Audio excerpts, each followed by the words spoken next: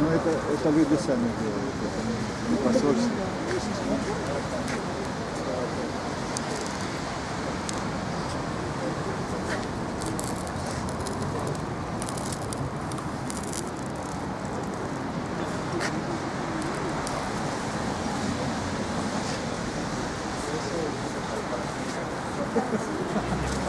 Yeah.